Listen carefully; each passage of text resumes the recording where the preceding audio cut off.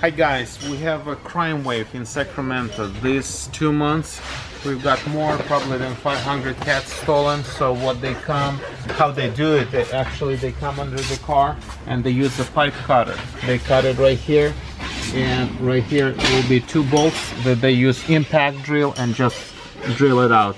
This is one of the, our cars that's had been stolen. We are doing the repair for the uh, a lot of our customers so this is what you're gonna left. This is just exhaust pipe.